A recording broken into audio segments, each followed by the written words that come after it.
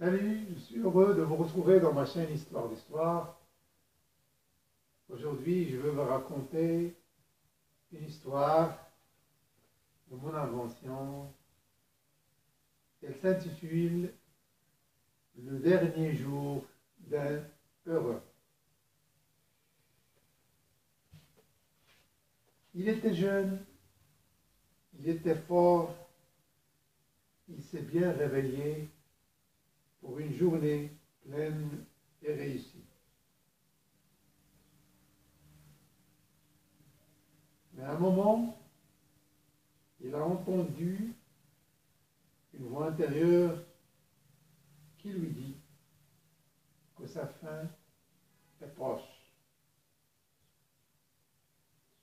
Il a eu peur à un moment, mais il est croyant et il croit au destin.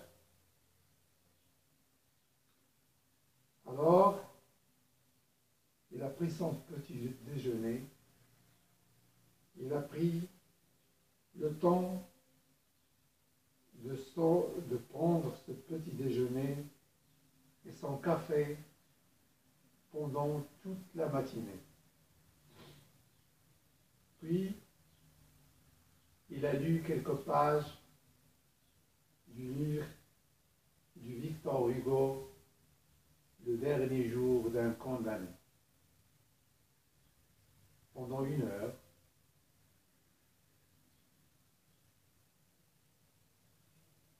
jusqu'au moment du déjeuner, vers midi, il a pris son déjeuner avec même lenteur, sentant chaque bouchée et chaque gorgée d'eau.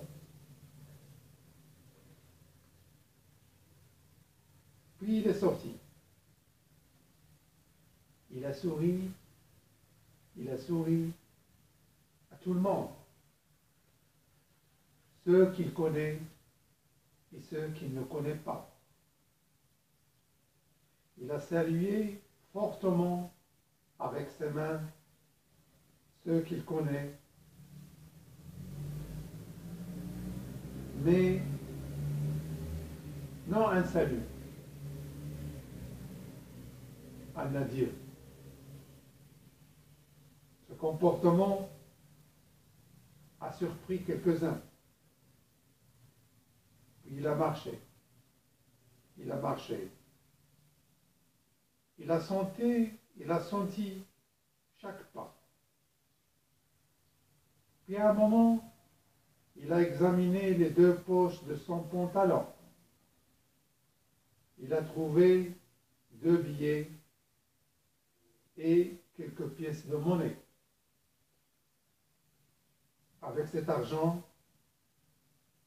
il a acheté un jouet à une petite fille pauvre. Et il a senti la joie dans ses yeux. Le reste, il l'a réparti entre deux mendiants, un vieillard et un aveugle. Et il a vu la joie dans les yeux fatigués et pâles du vieillard. Et il a vu la joie dans les yeux fermés de l'homme aveugle.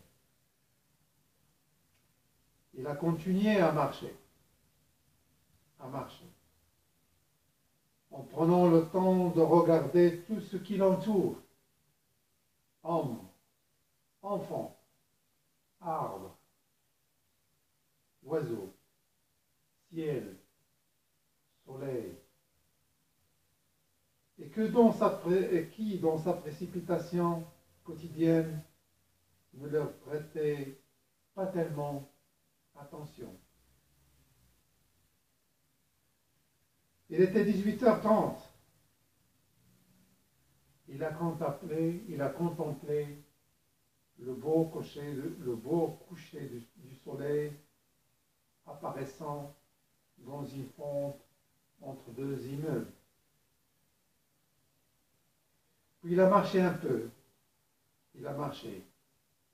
Puis il s'est arrêté devant l'école de son enfance. et s'est assis sur un banc. Il est 18h31. De la mort se présente pour prendre son âme, pour prendre l'âme du jeune homme. Le jeune homme lui dit, je suis heureux, je suis heureux de ma fin et je suis prêt. Quand on est venu remuer le corps couché sur le banc du jeune homme, on le trouve avec un grand sourire qui se, dessinait sur ses lèvres.